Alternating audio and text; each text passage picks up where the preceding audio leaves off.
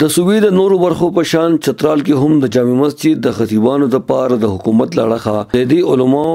د اسنادو د تصدیق د مرحله سرته ورسیده په دې اړه شاهي مسجد چترال کې یو غونډه هم شو چې پکې د چترال اسسټنټ کمشنر ساجد نواز مشر ملمو غونډې ته د خپل خیراتو څرګندونه کې هغوی وی چې صوبایي حکومت دا اعلان کړی دی چې کوم عالمانو سره د وفاق المدارس سند موجود وي او هغوی په جامع مسجد کې خطیب وي نو دوی له بده میاشتې لږ زر روپۍ اعزازیه ورکول شي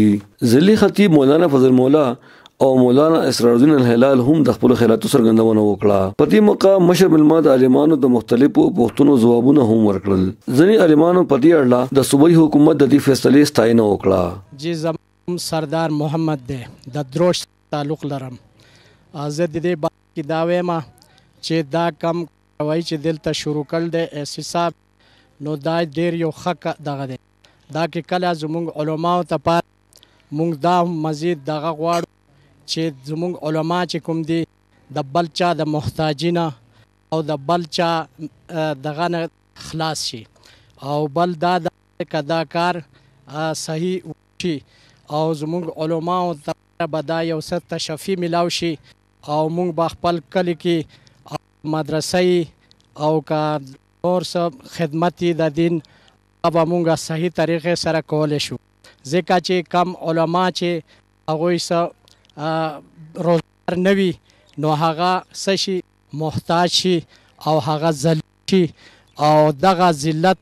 د وجې نه مونږ بیا هم نور هم ریکویسټ کوو د خپل کم وزیر اعلی او نور کم دغه دی دی دی ایریا والا دی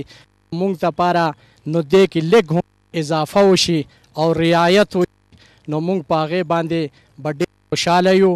او کم هغه ښه کار هغه شروع کړه نو هغه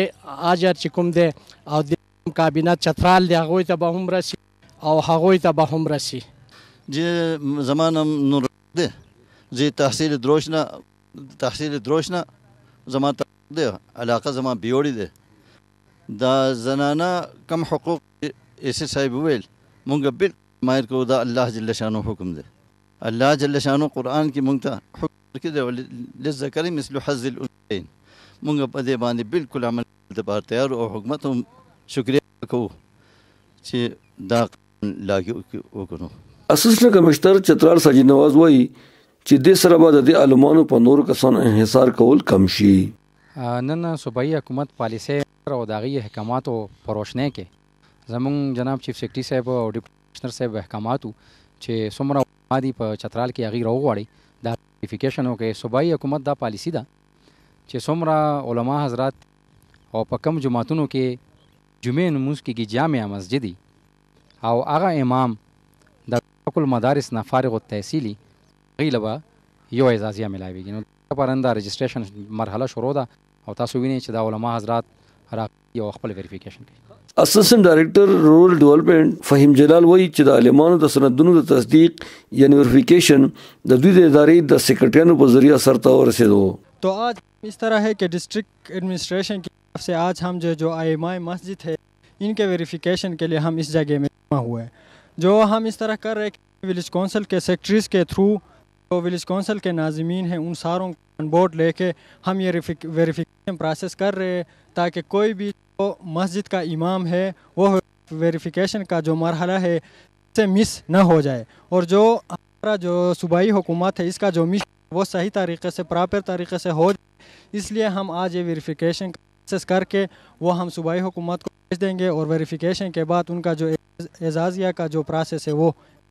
الله کمپلیټ هو جائے د سندونو د تصدیق دویمه او اخیری مرحله کې 1500 عالمانو ګډون وکړو